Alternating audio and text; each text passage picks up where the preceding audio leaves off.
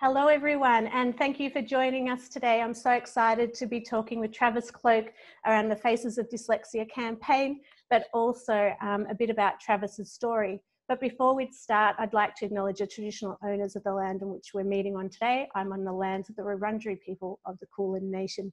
Welcome, Travis, to the show. Thank you for joining me today. No problem. Thank you so much for having me. So you've um, been disclosing that you've had you have dyslexia now for a little while. Can you tell us what life was like for you growing up? Yeah, it was obviously an interesting one, especially going through school. Um, I all, all, I guess my mum and dad always knew I lacked somewhere in my in my reading and writing. Um, I I went to a speech thero- uh, speech therapist as a young age. Um, I had a list. My teeth were in the wrong place. My jaw was realigned. So I spent a lot of time and years there. And then I guess once I kind of went into maybe seven and eight, that's when they picked up and said, maybe there's something else here. Maybe you're lacking somewhere. And that's where I probably got a bit more insecure about my own learning. Um, I never wanted to read out loud in the classroom. Those little things like that started to creep in. So, mum and dad obviously sent me off and had a few tests um, to find out maybe where I am lacking and if I need a little bit more work. And that's when they found out I, I have a case of dyslexia. And um, ever since then, it's it's been a battle, but also a, something I've been talking about and, and open about my whole adult life, I guess. And what have some of the battles been for you? Obviously, um, through the back end of high school, and when you've got to read in a class or you've got to share a story that's in a book, you, you kind of look at the teacher and hope the teacher doesn't bring it up or doesn't point at you. So you got very shy in class. You you remove yourself sometimes and become very insular in class. And um, I never realised what I was doing till it was almost too late. So for me now, as a 30, 33 year old adult, um, I I personally understand what the battles were like as a teenager. I never got bullied or picked on because of it, but at the same time, it definitely was a disadvantage uh, going into my my early adulthood. Uh, I guess in football. And do you think it's affected you throughout your career and in your personal life, or do you think you're able to manage it? Um, I've been able to manage it pretty well. I've learned a few tricks. Um, through school, I was more of a creative background, so I guess that always helped me out a little bit. Um, when I did my VCE, my only academic subject was English. Um, the rest of them were arts based. Um, people find it very interesting. Through school, so at the Yarra Valley Grammar, um, they had a very, very good section for, for early learning, uh, for extracurriculum, and a really, really fantastic hearing um, department there. So they specialise in this, and um, I, I, was an arts captain in year 12. I wasn't sports captain, um, I was arts. So I really dedicated myself to learning, but also excelling and, and putting my dyslexia behind me by, by being creative. And uh, it definitely helped me, but at the same time, it probably didn't help me transitioning into the real world um, by trying to push it behind me and cover it up. Well, I have to say, I'm a little bit jealous. I got kicked out of art class by the time I was in year 11.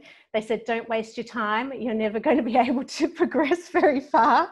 So go and pick another subject. So I was uh, very disheartened by that comment. And so um, uh, it's not a skill, even though we're really excited to be launching our campaign and our Faces of Dyslexia. And um, I had no idea when we asked you if you were interested in being the judge that you had that background in art and that passion for art. So, do you still um, do any art now? Uh, I went away for, for a little while. Obviously, football consumed a lot of my life, and a lot of my spare time was developing my football game.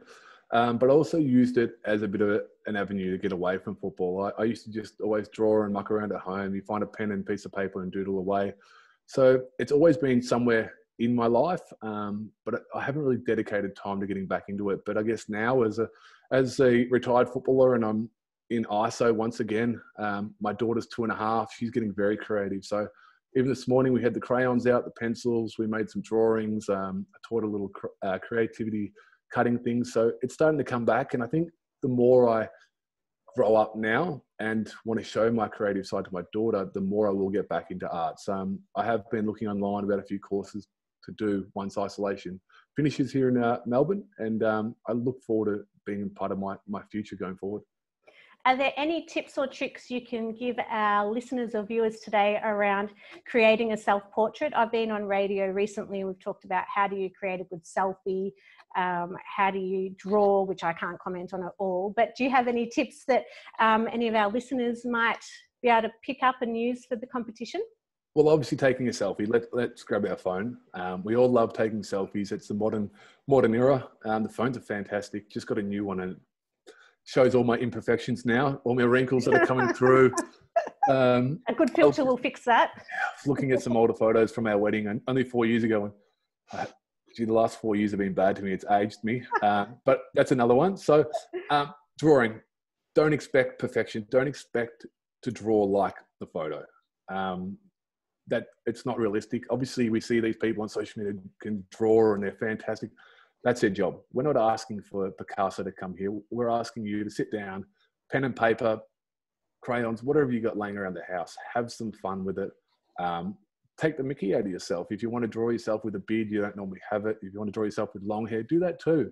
Um, be as creative as you can and also just express yourself the best way you can.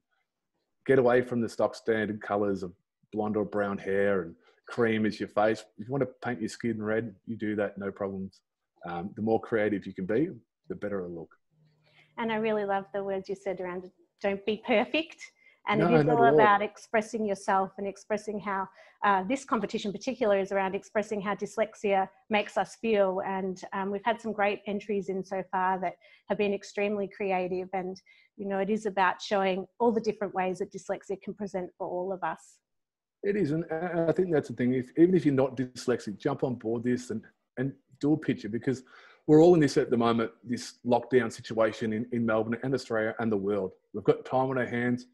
Parents, put your kids at the a dining table, piece of paper in front of them, tell them to draw a picture. Please submit it. It's um maybe it kills two hours at a time and it gives your parents a little bit more normality or a bit of realism back in your life. So make it part of their their arts part of their stay at home for schooling. Um, let's use this as, as an avenue to promote dyslexia, but also promote a, a positive mental health at home and creativity that we're all um, craving for.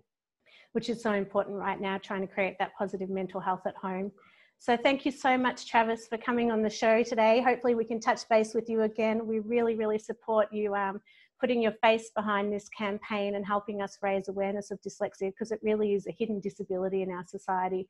And the more people that can join this competition and campaign, the better for all of us. So have a wonderful day. Stay warm where you are. Hope you get some sun. I don't think we're going to in Melbourne.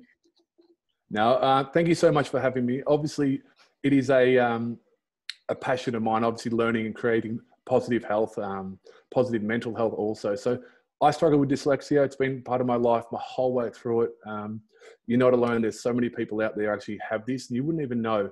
So you can get through life hiding it um, and trying to promote positive, but at the same time, embrace who you are. Be be an individual. Be who you are, and especially at the moment, try your best not to be perfect because we're not, and you put too much too much expectations on yourself to be perfect at the moment.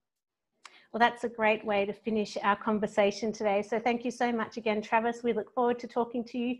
Stay well. And for everyone that's listened in today, thank you so much. We really look forward to seeing your different art. And uh, Travis looks forward, particularly in seeing all the art that's coming through. So thanks everyone for joining us. Have a wonderful Friday. And until then, bye for now. Thank you.